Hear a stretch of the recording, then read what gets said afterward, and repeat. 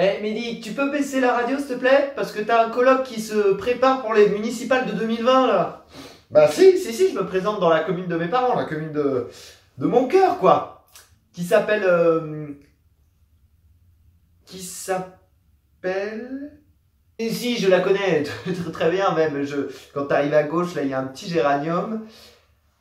Euh, je m'appelle Vianney, je suis bénévole à tous ces lieux et ceci est la toute première vidéo du défi diagnostic. Bah oui, extrêmement important le diagnostic. Avant de se lancer, il est nécessaire de savoir où on met les pieds. Alors, fais pas trop le malin, hein. t'as beau habiter depuis des années dans ta commune, dire que tu la connais par cœur comme moi, il y a toujours des questions qu'on ne s'est jamais posées. Par exemple, quel est l'âge moyen des habitants? Ah, bah tu vois À la fin de cette vidéo, si tout se passe bien, vous aurez une jolie petite liste bien donnée avec toutes les infos dont vous avez besoin avant de vous lancer dans la campagne électorale pour prendre votre mairie. Et alors là, je vous vois venir pleurnichard comme vous êtes en me disant Bah oui, mais bon, moi je les trouve où toutes ces infos? Ce à quoi je te réponds, tu te calmes, tu descends d'un étage et tu regardes la vidéo 2 du défi diagnostic, celle de juste après. Alors, pourquoi diagnostiquer sa commune? T'as peut-être déjà une vision, et je la respecte parfaitement, des choses qu'il faut changer dans ta mairie. Mais prendre vraiment le temps de comprendre et de voir ce qui se passe sous différents angles, c'est nécessaire. Nécessaire, hein Pas facultatif. On se pose pas toujours les bonnes questions, certaines caractéristiques de ta commune peuvent être euh, invisibles ou cachées. Les questions qu'on peut se poser. Petit village ou grande ville périurbaine? Habitants plutôt aisés, plutôt modestes Vie politique locale dynamique ou inexistante Eh Mehdi, arrête, je les emmerde pas, c'est juste que c'est des questions qu'il va falloir qu'ils se posent avant de se lancer, sinon... Alors soit vous êtes un citoyen très engagé au niveau local, et dans ce cas-là, ça va être plutôt rapide, soit vous êtes un petit nouveau, et là, je vous dis bienvenue dans le module.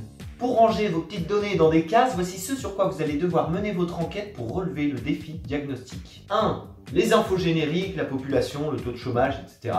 2. Les infos politiques, résultats des dernières élections, nom des élus. Et 3. La vie locale, je pense notamment aux collectifs et aux associations qui sont déjà présents et influents sur le territoire. Allez, et puis comme je sais que vous adorez voyager les jeunes, on va aller prendre un petit exemple dans le Lot-et-Garonne à Pennagenais. Alors attention, beaucoup d'informations là-dessus, restez concentrés. On va d'abord s'intéresser au nombre d'habitants dans la commune, c'est l'information importante. Ça permet de savoir combien il y a de sièges au conseil municipal, du coup de quelle catégorie fait partie ta commune, et le nombre de voix que tu dois obtenir.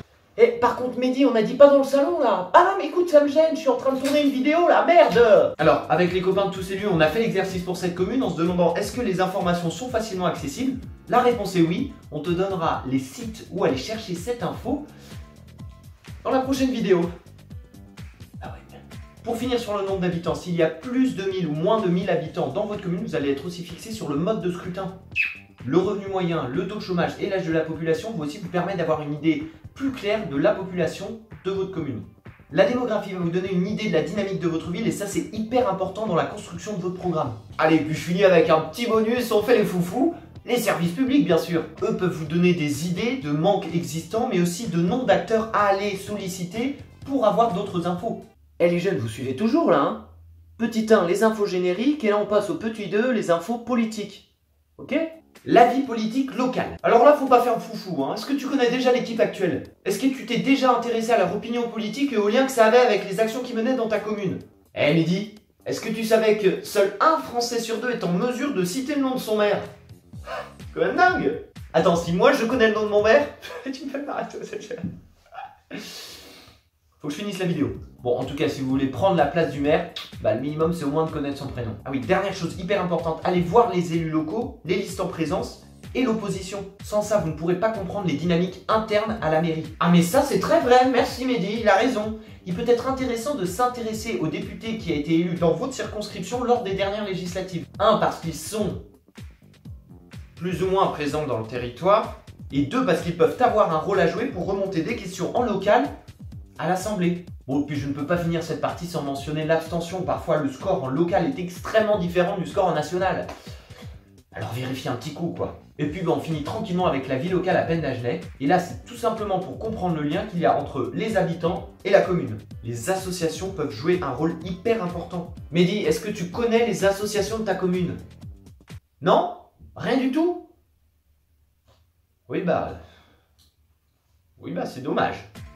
Ah oui, puis plutôt sympa, il faut avoir en tête les grands événements de ta commune. Les férias, la fête de des escargots, du pâté aux prunes. C'est là-bas que tu pourras découvrir les sujets de mécontentement que tu soupçonnais même pas en fait. Voilà, cette vidéo est terminée. Maintenant, vous avez la liste de toutes les infos à aller chercher. Euh, maintenant, comment on s'y prend euh Vidéo 2